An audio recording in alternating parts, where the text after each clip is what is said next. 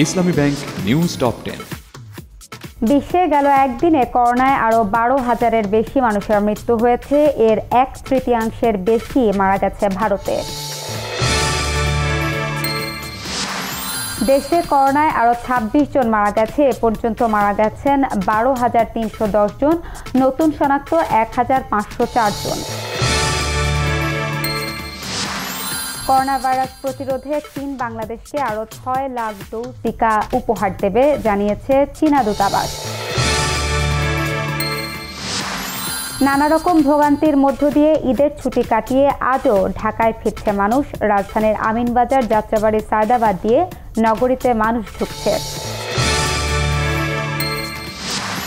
চট্টগ্রামের সীতাকুণ্ডে ট্রাক উল্টে দুজন নিহত হয়েছে। আহত হয় পাঁচজন। নিহতরা হলেন আতিকুর রহমান ও নবী হোসেন।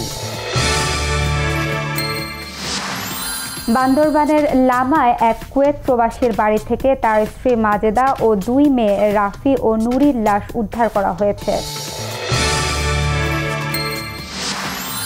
এশীয় বংশোদ্ভূতদের ওপর সহিংসতা বন্ধে এবার বিল পাশ করেছে বাইডেন প্রশাসন। করোনাকালে যুক্তরাষ্ট্রে ব্যাপক হারে এশীয়দের ওপর সহিংসতা বাড়ায় এই আইন পাশ করা হয়।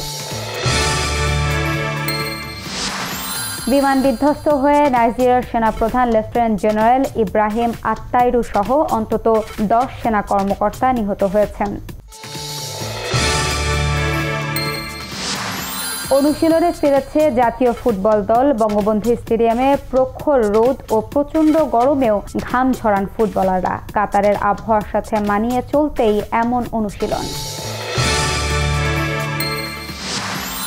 স্প্যানিশ লা লিগায় শিরোপা নির্ধারণ হবে আজ। অ্যাটলেটিকোর বিপক্ষে রিয়াল ভ্যালাদোরিদ, রিয়াল মাদ্রিদ খেলবে রিয়ারিয়ালের বিপক্ষে।